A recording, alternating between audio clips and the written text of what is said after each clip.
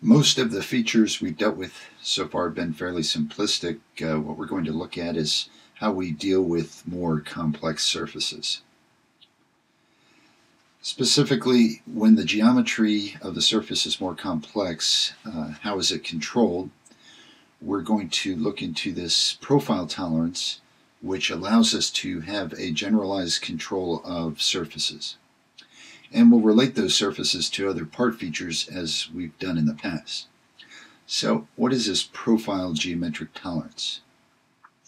Well, we can have a two-dimensional or three-dimensional profile tolerance, and that's based upon which symbol. You should recognize these two symbols. The uh, simple curve would be two-dimensional. The closed curve would be a three-dimensional covering the entire surface. Well, to understand a profile, uh, think of it as a two-dimensional cross-section of some geometry. Now, it could be that that cross-section changes over the length of the feature. For instance, if I had a cone shape, then each two-dimensional cross-section has a circular profile. Uh, the diameter is increasing or decreasing depending upon your perspective, but the profile remains the same. We can use this profile tolerance for any uh, shape or curved surface. And we can combine control over form, location, and orientation. So it's perhaps the most generalized geometric tolerance in terms of its applicability.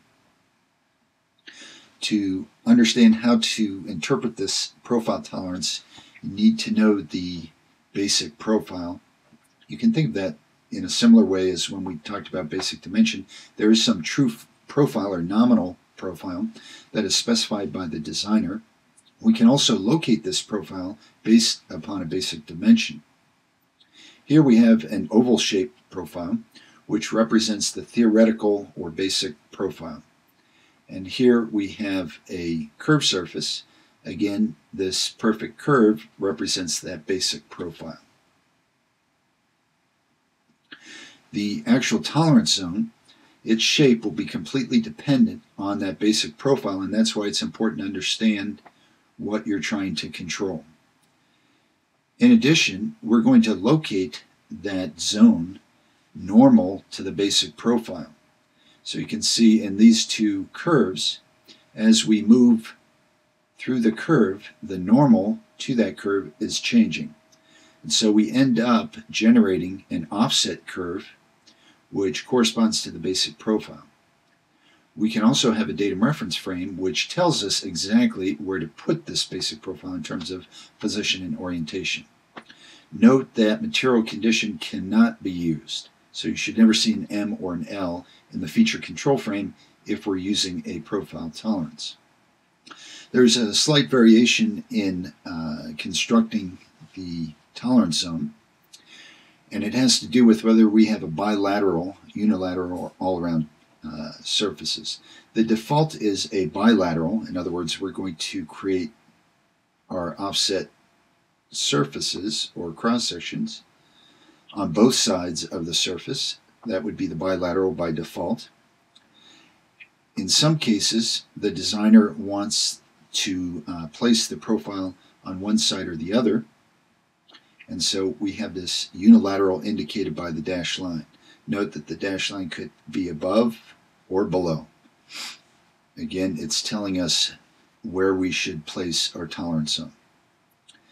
And then the all around is an indication here that we want to control the entire cross section, not that not just the curved surface that we're pointing to uh, as in the previous two examples. Let's look at the uh, simple 2D case, uh, what we call the line profile. It will be a two-dimensional curve that you're controlling, and it's going to be every two-dimensional cross-section. So here we have our oval shape. We know what the basic profile is, and the all-around indication is redundant in this case since we have a, a continuous curve. So as we look at it from the side, we're going to go down this feature, throughout the width of this feature, and create two-dimensional tolerance zones and try to enclose the surface at that cross section within those two-dimensional tolerance zones. And here you've got kind of a blow up of what that might look like. We're only looking obviously at one section and we're following the basic profile with the shape of our tolerance zone.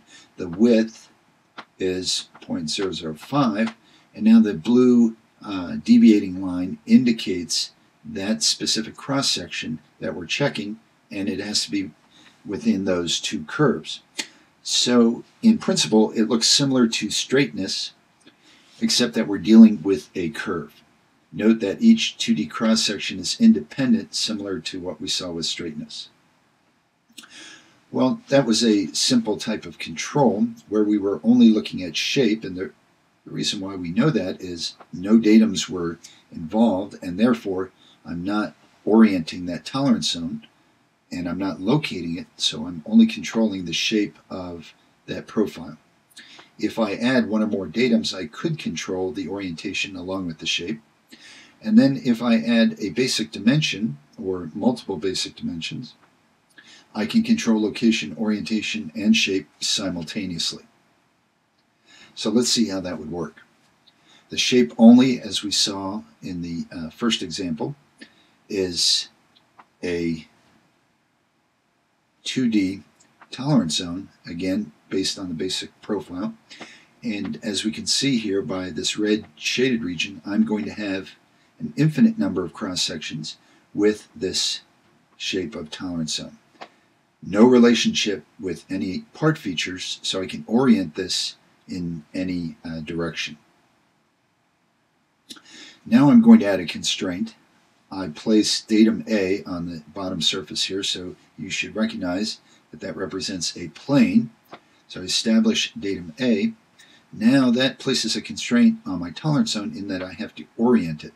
Now, to determine the orientation, you have to understand what the design is telling you. In this case, as we can see, this 2D profile tolerance zone is going to be parallel to datum A. Now that is not always the case because of course I could describe datum A as that surface, that surface, and then it would change to perpendicular, perpendicular to datum A. So you have to look at the design and see what the relationship is between the basic profile and your datum. How is this a, a constraint? Well, I can't just orient this profile tolerance looking from the side in any direction it has to be oriented parallel to A. So each 2D cross section will have to be parallel to A in terms of its profile. So I have shape and orientation control. Well, how could we add another constraint that would tell us something about the location of the basic profile? A simple constraint would be to add a hole feature here. And with the hole feature, we associate datum B and add datum B to our feature control frame. How does that change the relationship here? Well, as you know, we would establish datum B by finding the largest cylinder that fits in the hole, and that would tell us where the axis is corresponding to B. Now the constraint is, of course, that B has to be perpendicular to A. that does not change the orientation of our 2D profile. What it does do is center that profile on the axis. Note that we're not controlling all six degrees of freedom, so the 2D profile can rotate about B as long as we can contain the surface uh, for each cross section in this profile tolerance zone. So it is constraining location. We can't be anywhere. We have to be centered exactly on B. well, we can extend the same principle to three dimensions and that we call a surface profile. With the surface profile, we're looking at the entire surface, not just a cross section. So, similar to when we went from circularity to cylindricity, we're going from a 2D profile to a three dimensional profile. Here, if I look at it from the top, it looks the same as a 2D profile tolerance zone. The difference is it will be extended across the entire width of the surface there. And so we don't have independent cross sections anymore. The entire surface collectively has to fall within this uh, profile tolerance zone and it's three-dimensional. So we're looking at the entire surface simultaneously. Again, the width of the tolerance zone hasn't changed. Uh, it's the same. This is a tighter constraint, obviously, than the 2D profile tolerance because the cross sections are not considered. So you should understand the concept of a basic profile or the true profile, which would be theoretical, and then the 2D line profile tolerance zone, how that's different than the 3D surface profile. The shape of the tolerance zone always goes back to the basic profile. So it's completely dependent on that. We can control shape, orientation, and location depending on whether or not we use datums and basic dimensions.